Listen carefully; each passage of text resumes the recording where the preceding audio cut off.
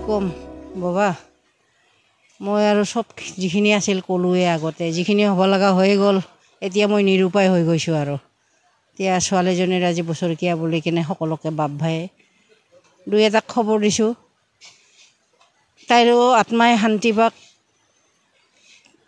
ক'ত কি ৰূপে আছে য'তে যেনেকৈ আছে তাতে শান্তি হওক। আৰু মইতো আৰু অকলশৰীয়াই জীৱন। দুখে বিপদে এই বইনীটোৰ ছোৱালীটোকে ৰাখিছোঁ। তেওঁৱে মোক চোৱা মেলা কৰি আছে বইনীটোৰ ল'ৰা ছোৱালীকেইটাই দেখভাল কৰি আছে। তো কেছটোও উঠাই লোৱা হ'ল। এতিয়ালৈকে চি বি আই কিবা কিবি কৈছিলে এইটোও মোৰ একো এতিয়া হেৰি হোৱা নাই আগবাঢ়ি যোৱা নাই কামবিলাক।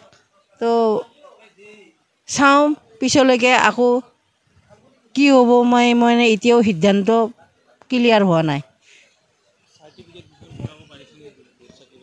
ডেথ চাৰ্টিফিকেট ওলাইছোঁ ডেথ চাৰ্টিফিকেট ওলাইছোঁ ল'ৰাৰো ওলাইছোঁ ছোৱালীৰো ওলাইছোঁ এতিয়া মানে তাইৰ কাম হৈছেও নহৈছেও এনেকুৱা আধৰুৱা হৈ আছে কামবিলাক যিকোনো কাম আধৰুৱা হৈ আছে বেংক চব কামেই আধৰুৱা হৈ আছে মই একো কাম ক্লিয়াৰ কৰিব পৰা নাই তো চাই লওঁ কি হয় আৰু মোৰ দেহাটো সুস্থ থাকিলেহে মই কামবিলাক কৰিব পাৰিম।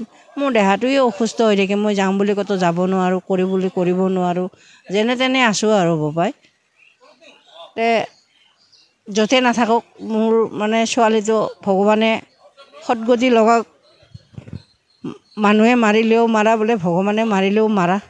তো ভগৱানেই মাৰি নিছে বুলি মই মনত সিদ্ধান্ত কৰি লৈছোঁ আৰু ঠিক আছে। মই আৰু আজি অকলশৰীয়া হৈ আছোঁ। তাইৰ আত্মাই শান্তি পাওক।